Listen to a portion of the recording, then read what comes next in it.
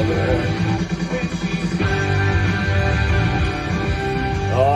welcome back to the channel, guys. I hope you're doing really well. Thanks very much for being here and clicking on this video. We've got a massive Monday vlog ahead for you guys. We're going to do the Monday sales first and foremost. It is actually Tuesday, but we're doing what took place on Monday today. I've had seven sales come through, $338 in revenue. When you take out the fees of the post, guys, it was $168 worth of a profit yesterday. So I'm just left home. I'm going to shoot back to mum and dad's place. I'm going to look out the sales that sold, and uh, I won't be doing the post today, but at least I can show you what did sell. And uh, there are a few other things that we need to get done today that will make for a very entertaining vlog. So hopefully you enjoy it. Sit back, relax. Let's get into it. I'll see you back at home, and I'll show you what sold. You guys may have remembered a few weeks ago I was in a flea market and I managed to find Shaquille O'Neal here in the Orlando Magic jersey. So this was a really cool vintage item, 1993 uh, embroidered there on the leg. Mono Mine is the company of the toy. Um, it was meant to be on a stage. As you can see there, there's a little hole in there for the stage, but I just sold it as is. Uh, I didn't have that. Managed to get a $30 sale price on this thing. So shouldn't be too much to, uh, to ship him off. I'll just put him into a padded mailer uh, and get him out the door. But five into 30, I might make myself about 15 bucks with this one.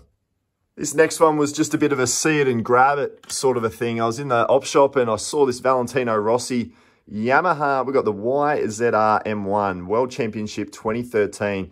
These little model toys actually go up pretty well on eBay. So this was Leo Models, as you can see, uh, in mint condition. Bought it for $2 in a trip to the thrift a few weeks ago. And this thing has gone on to sell for $33, guys. So again, I'll, I'll wrap this one up with some bubble wrap. Uh, might put it into a box just to protect it a little bit. And, uh, and yeah, should make myself a good $15 profit on this one as well.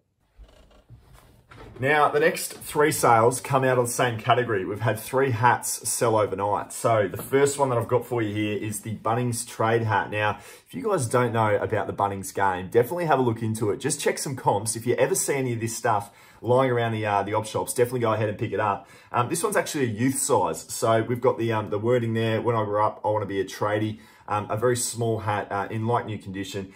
It sold for $30, guys, and I bought it for about 3 or $4 in the op shop. So very, very simple, easy to ship. There won't be any concerns there about trying to protect the brim or anything like that. Um, these ones, though, were also pretty cool, too. We've got the Callaway Golf hat. Now, guys, when we look at the hats and we talk about golf, Callaway is one of the absolute best brands to be finding. Now, this one is in epic condition. Um, nothing wrong with it whatsoever. Um, genuine Callaway hat as well. The way I can tell that it's genuine is just the tag that you've got on the inside right there. Um, this one's gone on to sell for 30 bucks as well. So 30 bucks on that one. Uh, I'll put that one into a small box. I'm only ever paying $7.50 with my Australia Post My Business. I get a lot of questions. How do you sell hats in the sense of your shipping? Um, and that's exactly how I do it. Always into a small box. Uh, never had an issue with it. And uh, the other one as well was an international sale of the Waratahs in the rugby union. Um, so this one here, brand new with tags. I bought a bundle of these in an op shop for $5 each.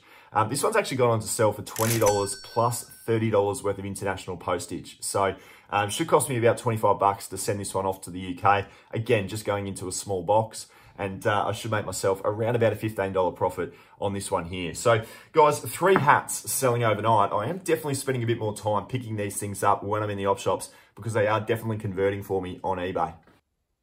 Now, you guys know I've got a lot of DVDs to try and sell. There's quite a whole lot in my collection here, but fortunately overnight, we've had two absolute rippers sell. So the first one that I wanted to take you through is this one here, McLeod's Daughters.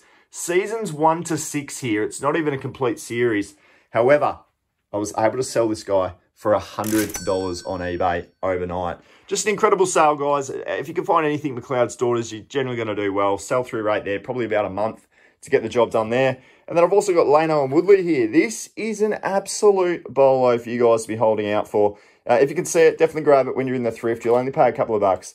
It's sold for $65. Can you believe that? A single DVD found in an op shop selling for 65 bucks on eBay. If you're not in the DVD game, get yourself in there because there was $165 right there overnight.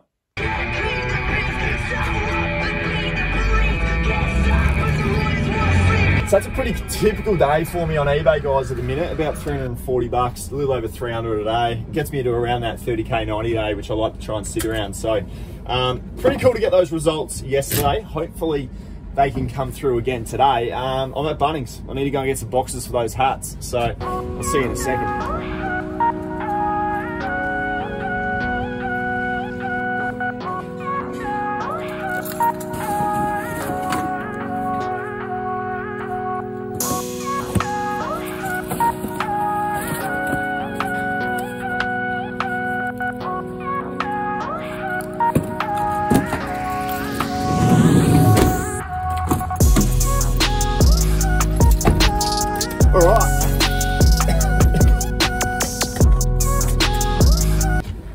Let's go to the thrift.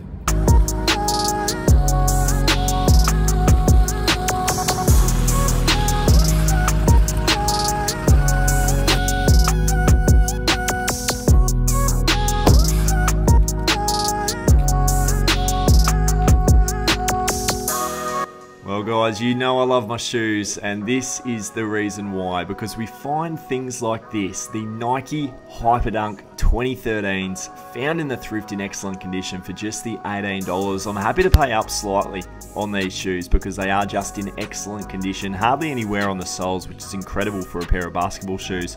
Really excited with that grab. Also got the New Balance Numerics. Now these are a US 8 size, uh, they're a men's pair of shoes, uh, $10 purchase price. Really really cool little shoe here. I'm absolutely loving the newies. I'm always buying the New Balance now, and they are selling pretty well for me. So one to definitely be on the lookout for. Hey, Big Little Lies. This is a really good TV series, one and two here. Uh, Pre-owned condition goes for about 40 bucks. So always happy to commit to the $5 spend.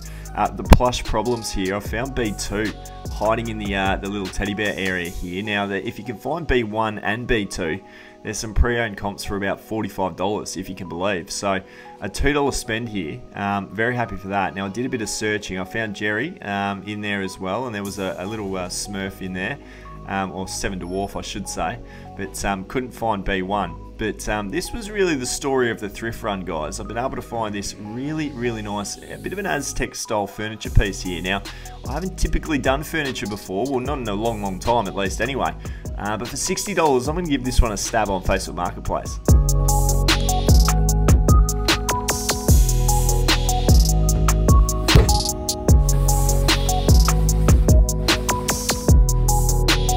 Pretty cool, hey? Well, who would have thought, hey? Back flipping furniture on Facebook Marketplace. Anyone that's recent to the channel, uh, for those OGs that have been around since the beginning, you would know that I kind of started out my flipping journey, flipping furniture. Um, off Facebook Marketplace, onto Facebook Marketplace, and I was doing 100 bucks at a time for from a profit perspective. So, you know, if you're just doing this part-time casually, I just think if you focus solely on furniture, even small items of furniture that you can throw in the boot of a sedan or something like that, you could tear it up and make a couple hundred bucks every single week without a drama. The sell-through rate, two or three days to turn these things over.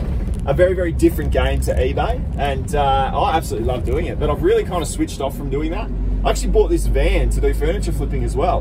And then the minute I bought the van, I almost stopped flipping furniture. But um, look, regardless, I just saw it in the uh, at the at the checkout there just as I was leaving, and I, I just had to grab it it's a really unique sort of an item that one as well. You don't typically see too much of that sort of a look, a bit of an Aztec sort of a feel.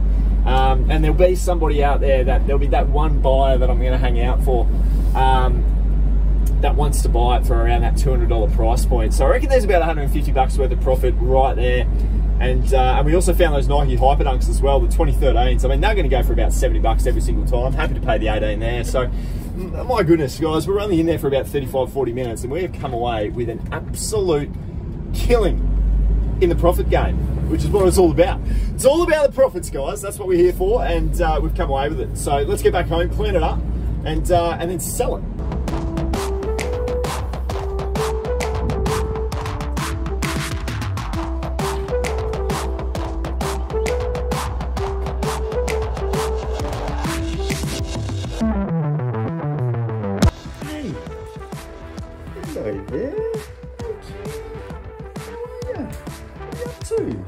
Alright, so we just need some sugar soap. That's what I use for shoes, um, just a superpower side. But today we are doing furniture, so I need to find uh, sugar soap, this stuff.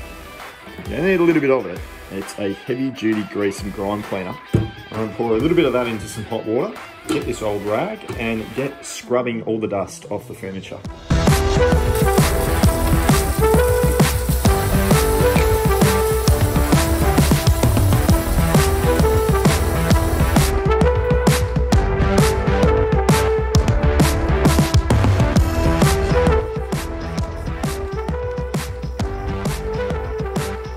Okay, so that's looking really good. The last step is the furniture polish. So I use this O'Cedar furniture polish. You don't need a whole lot of it, trust me, um, but it's really gonna make it pop. So I'm gonna rub a bit of that into the entirety of the unit and, uh, and then we'll take some photos.